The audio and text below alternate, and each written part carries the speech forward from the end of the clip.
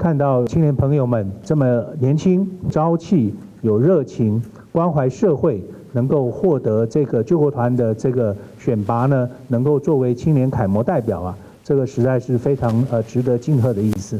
我把我自己啊，在过去呃年轻的时候的一些呃工作的一些想法，我跟各位分享，如何去提高自己的未来竞争力。第一个方面，在学识上，你就必须要不断的充实自己。无论是在学校或者是在工作中的学习，随时保持呃能够吸收新知识的状态，因为知识会变成一个未来社会的重要竞争力。所以，当你的知识的充足呢之后呢，你就会有更有机会能够表现。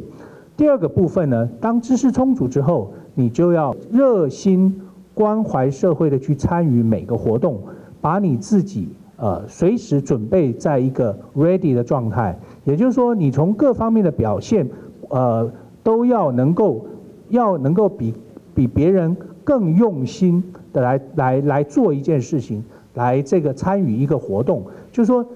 大家都会做一件事情，但是谁可以把这个事情做到最好，那就会在同才之间呢，就会有机会让别人能够发掘你。我相信各位今天能够获得这样的一个一个殊荣，表示各位的基本的这个呃已经非常具备非常好的条件。那剩下的就是希望大家能够有更积极的、更积极的心态去做每一件事情。再一次呃恭喜各位，也预祝各位的这个未来能够呃顺利。然后呢呃大家一起为台湾来努力。谢谢大家，谢谢。